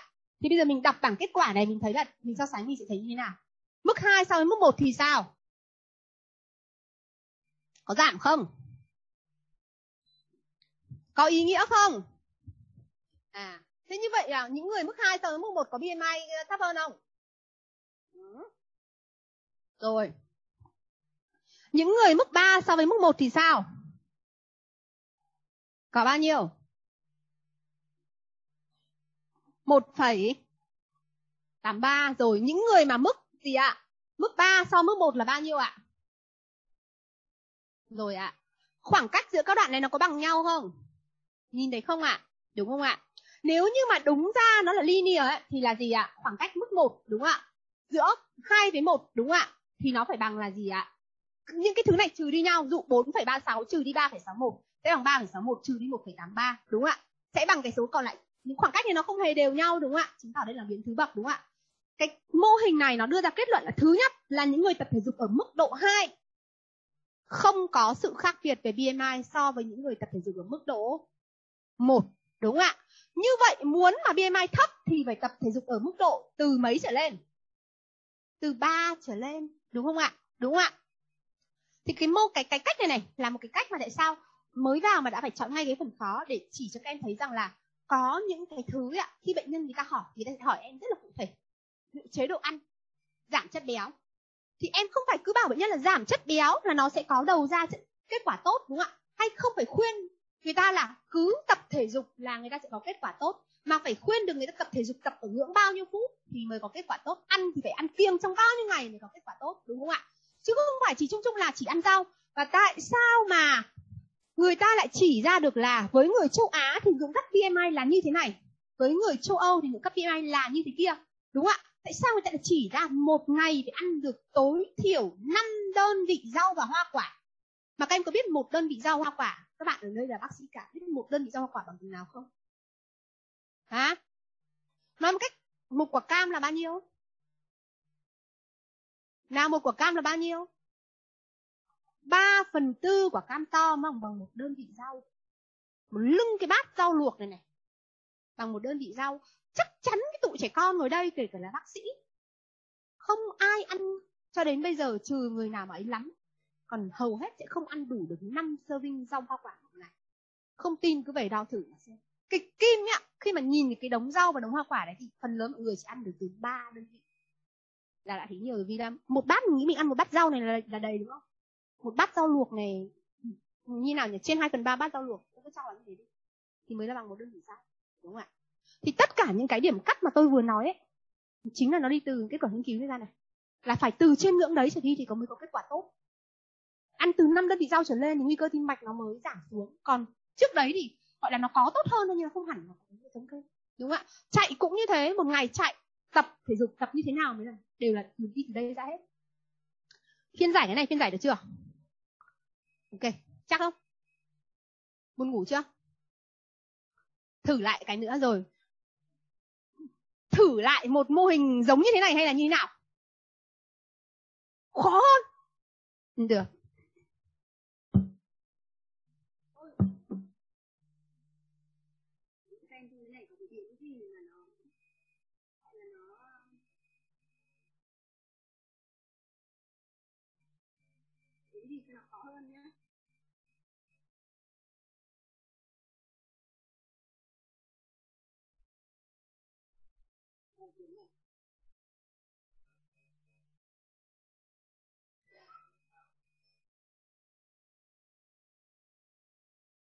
Đây.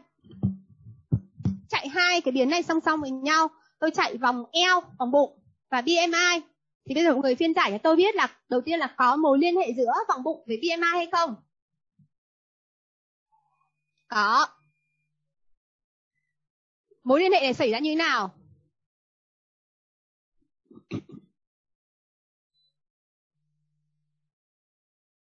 Nào. Nào.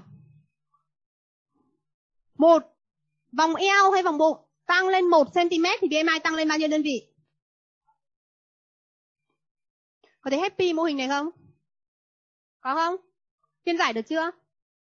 Đây là phiên giải gọi là pure statistics, tức là gì ạ? Đơn thuần thống kê là ok, đúng không ạ? Câu câu hỏi tiếp là mọi người sẽ phải hỏi. Đây là đây là mức 1 nhá mức 1 và mức 2 là biết phiên giải tức là biết cách đặt chạy chương trình, biết cách phiên giải chương trình. Mức 3 là lại phải đặt câu hỏi là cái mô hình mà cô đang chạy nó có nó có ý nghĩa hay không? Bởi vì có thực chất là vòng eo này. Vòng eo ấy ạ, vòng bụng ấy ạ, nó phản ánh BMI nó có phải là yếu tố predict BMI không? Hay là hai anh đấy nó là gì ạ? Nó là gì ạ? Ngang hàng với nhau, đúng không ạ? Tiếp tục nữa ở một level cao cấp hơn nữa thì mình phải hiểu là về khung khái niệm ấy ạ những cái thứ mình đang nhét vào mô hình ấy, nó có thực sự là predictor hay không? Đúng không ạ. Predictor của BMI ấy, nó sẽ phải là gì ạ? Chế độ ăn đúng không ạ. Có rất nhiều thứ ạ. Ví dụ như này ạ. Khi mọi người chạy mô hình có rất nhiều người xuất bản bài báo nói là gì ạ? BMI predict nồng độ cholesterol trong máu. Được chưa ạ? Và predict tiếp huyết áp đúng không ạ. Có một số người lại không nói như thế ạ. Một số người lại gì ạ?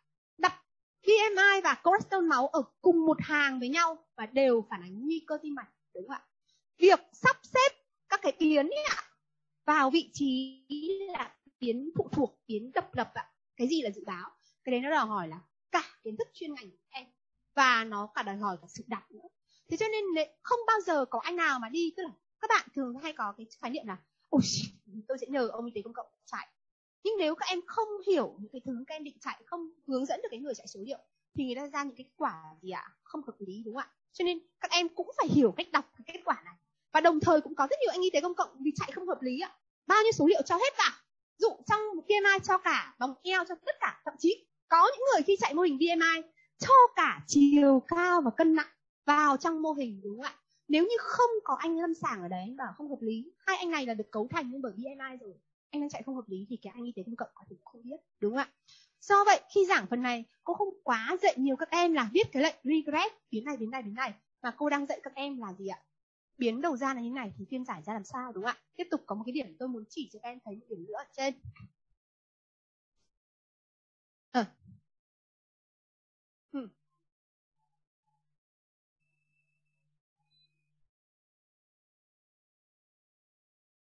à tăng hai đơn vị thì nó lại trở về cái này nhá. Như thế này này. Trong thuật toán.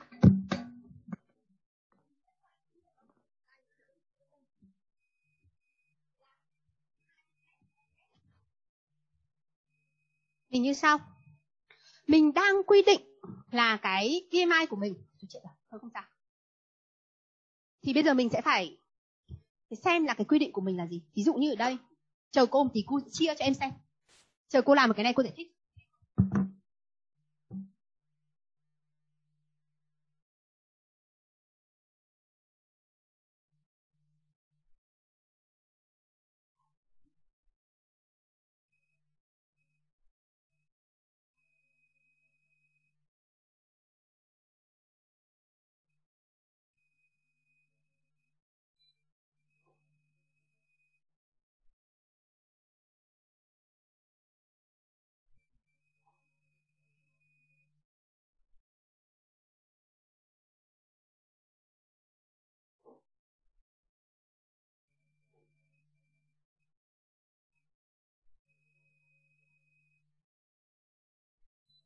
Bây giờ các em nhìn nhá. Để các em thấu hiểu cái chuyện này như thế này. Cô có hai biến biến đầu tiên là biến quét là biến là vòng keo của người cao bằng cm từng cm một được chưa cô tạo được biến thứ hai là vòng eo của người là hết 10 hết 10 người bằng cái vòng eo chia cho 10 cm chia cho 10 như, như vậy khoảng cách giữa đây là một phần hai là 10 cm được chưa bây giờ không ghi hết hai cái mô hình một cái chỉ quét và nguyên nguyên tử là cái vòng eo bằng bằng cm thì co cái cùng của nó bằng là 0,3 ba với một được chưa tiếp tục nữa khi cô dùng cái weight 10 ấy thì nó lên bằng bao nhiêu ba phần bốn một đúng không ạ? Thế thì em mới hỏi cô là sao không có tăng ba cm không số liệu tăng cao bằng bằng cm đúng không ạ nếu bây giờ cô lại chuyển vào theo bằng mm nó thì cái sự thay đổi một mm nó sẽ số liệu đầu ví dụ em nhận đây là bằng cm thì khi co công trình nó sẽ là thay đổi thành một nếu em nhập vào theo bằng đơn vị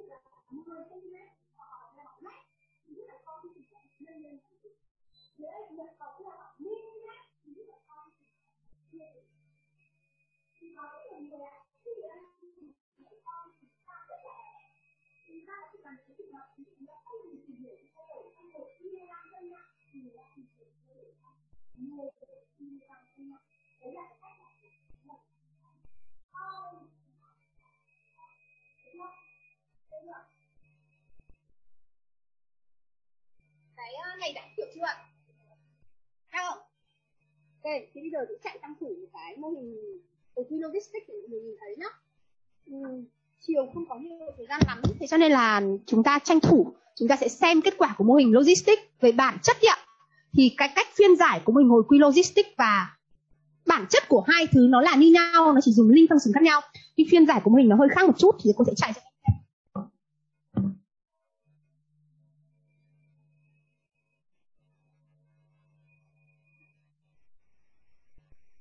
cô có tạo ra một biến? Cô có tạo ra một biến là biến BMI 2 cái biến BMI 2 này cô sẽ cốt là nếu BMI mà là trên 25 thì cô coi cho người đó là có BMI nó đang cao được không ạ? Và cô sẽ chạy mô hình logistic regression bởi vì lúc này mình sẽ có là BMI lớn hơn 25 lớn bằng 25 và BMI nhỏ hơn 25 được không ạ? Khi có cái phần đấy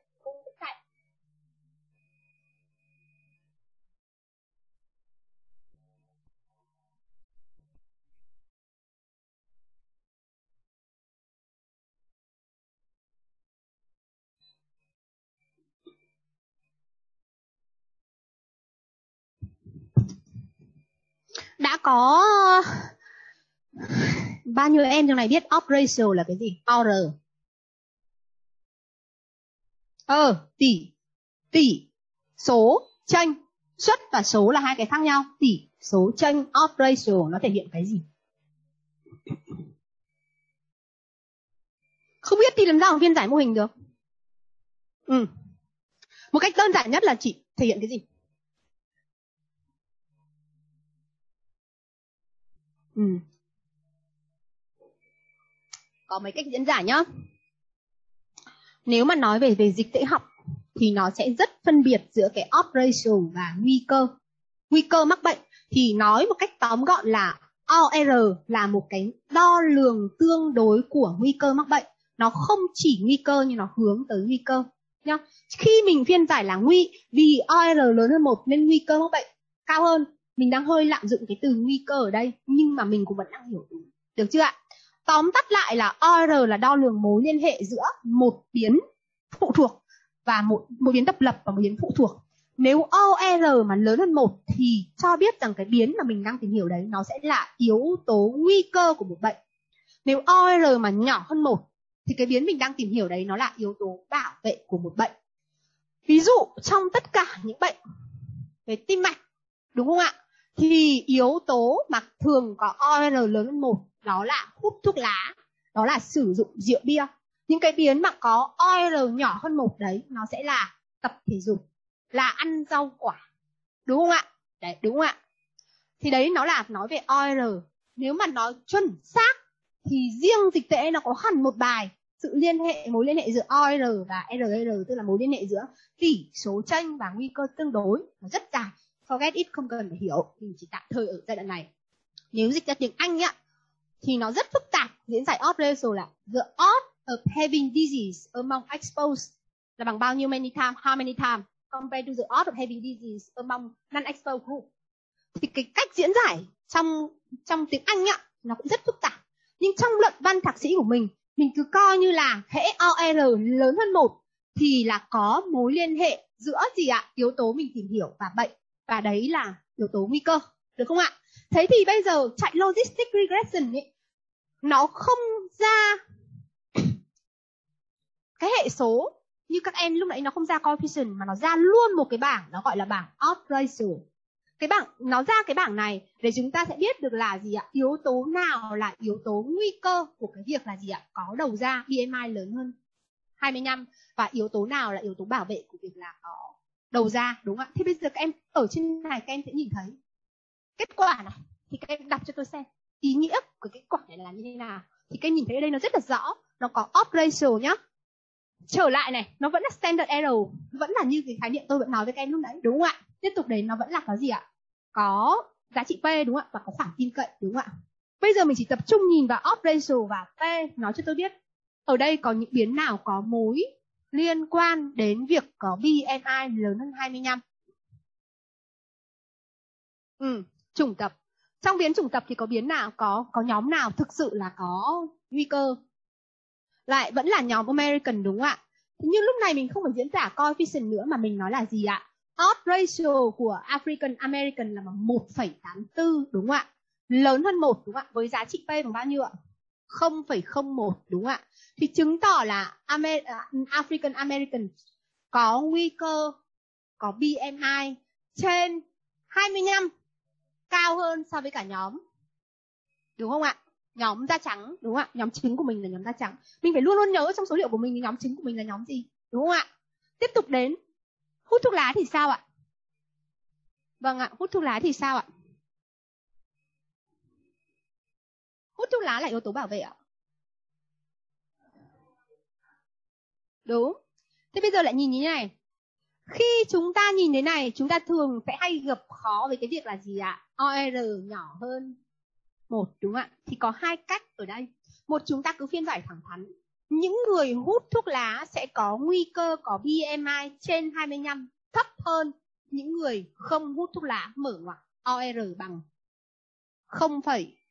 4 đúng ạ.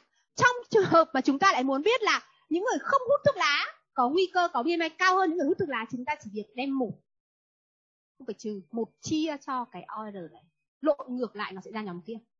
Nhóm A so với B, thì bây giờ mình muốn B so với A thì mình chỉ lấy một chia cho cái OR này nó làm sao ạ? Sẽ ra thôi, đúng không ạ? Thế nhưng mà kết quả như nào, một chiều nào thì chúng ta đọc đúng như thế, đúng không ạ? Hiểu chưa? Tiếp tục đến ạ, physical activity thì sao ạ? Physics thì sao ạ? Nếu theo kết quả này ạ nếu theo kết quả này thì chúng ta chỉ nhìn thấy có bao nhiêu nhóm physical activity là nó có sự khác biệt. Hai nhóm nhóm gì ạ? Phải rất là gì ạ? Somewhat more active. Hai nhóm cuối cùng nhóm 4 và nhóm 5 mới có p gì ạ? Nhỏ hơn 0,05 đúng không ạ? Và chúng ta sẽ chỉ kết luận là gì ạ? Để mà BMI gì ạ? Để mà xác suất của BMI trên giảm xác suất của BMI trên 25 đúng không ạ? Thì chúng ta bắt buộc phải làm sao ạ? Tập thể dục ở mức 4 và 5, đúng ạ? Thế hai câu hỏi nó khác nhau. Câu hỏi của biến linear là biến BMI đơn thuần ấy, là cái gì làm BMI tăng cao. Câu hỏi của logistic regression là chúng ta có một điểm cắt thật sự. Chúng ta không thích tình trạng BMI ở mức độ trên 25 vì 25 đã chỉ ra nó là ngưỡng nguy cơ của rất nhiều bệnh. Thì chúng ta muốn biết là cái gì làm cho anh vượt qua cái ngưỡng 25. Đúng ạ? Thì từ logic, từ linear sang logic thì hai câu hỏi nghiên cứu khác nhau một cái là gì ạ? Cái gì làm cứ tăng mãi theo chiều này. Một cái là có một điểm cắt đây, cái gì làm anh vượt qua cái điểm cắt đấy. Cái gì làm anh có BMI cao hơn 25 được chưa? Hiểu không? Mà nói chung ý, để mà đơn giản thì cũng chỉ nên giảng đến đấy thôi. Giảng tí nữa là lẫn ấy được chưa? Rồi, bây giờ là giờ à, dành cho phần Q&A tức là câu hỏi và trả lời. Với tất cả những thứ gì cô giảng giảng ấy, cái gì không hiểu hỏi lại đi.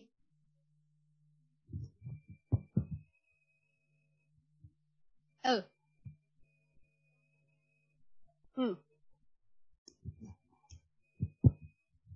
Ừ. Ừ. Rồi ok ạ. Cái phương pháp để mà tìm x6 ấy trong số hỗn độn data mà các em tìm ấy, thì cái cách duy nhất là thứ nhất là mình cũng phải hơi có hướng. Nếu như mình là bác sĩ điều trị của bệnh ấy, thì thông thường mình sẽ quan sát là có một cái nhóm này có vẻ như là người ta có cái kinh nghiệm. Điểm thứ nhất. Điểm thứ hai về anh pure statistics là người ta chạy. Không phải thử OR người ta chạy tương quan. Chạy R ấy, hệ số tương quan, Pearson, coefficient với tất cả cái đấy với các biến